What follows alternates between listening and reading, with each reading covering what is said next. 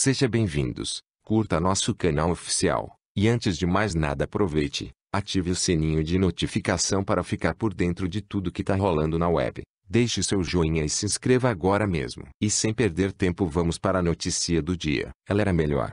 Apresentadora famosa perde a vida em notícia entristece fãs. A apresentadora travava uma luta contra um câncer bastante agressivo no pulmão. Ela estava afastada do programa desde o fim de janeiro deste ano por conta do tratamento. Em maio, ela realizou nove sessões de quimioterapia, mas no dia 31 ela sofreu uma infecção e não resistiu. Além do programa televisivo, a famosa dava aulas específicas e prestava consultorias nas áreas de panificação e confeitaria. A mais recente aparição de dela na TV foi no dia 29 de janeiro ao lado de Regina Volpato, apresentadora do Mulheres, quando ensinou a receita de um bolinho de banana.